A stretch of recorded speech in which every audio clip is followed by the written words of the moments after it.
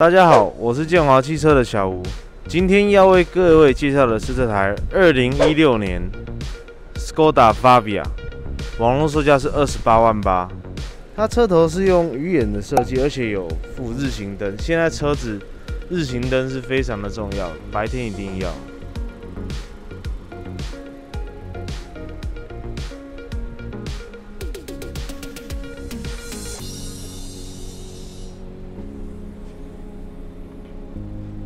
以一台 C 数只有一点二的小车来说，它这后备箱空间非常的大，而且它后座还可以做六次倾倒，完全放倒的情况下，还可以再放更多的东西，载人载货都方便。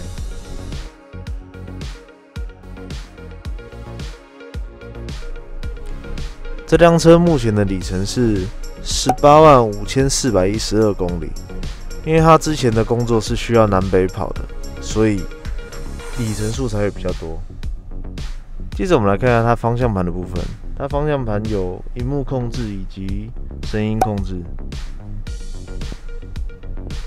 它的头灯可以调 Auto，也就是自动感应头灯，以及它有怠速熄火，让你车子可以更省油省电。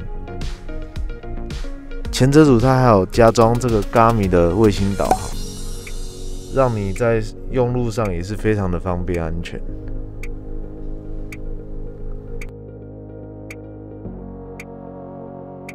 零度的倒车显影影像以及行车记录器，它的车子有配备触控荧幕，让你可以使用上方便。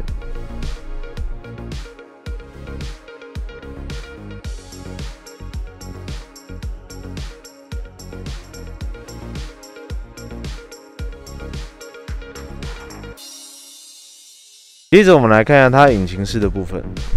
它这辆车是一千两百 CC 的，所以税金的方面一年不到一万，非常的省。而且它虽然说是一一点二的小车，可是它有标配涡轮增压引擎，让你在马力上不会输给其他的车。前车主也非常顾车，他这台车是全车原版件，看螺丝没有松过，以及车身都还在。今天为各位介绍的是这台二零一六年 Skoda Fabia，网络售价是二十八万八。如果您喜欢这支影片，欢迎按赞、订阅、加分享。如果您喜欢这台车，欢迎来建华汽车找我，我是小吴，我们下次见。实在就是 SUM。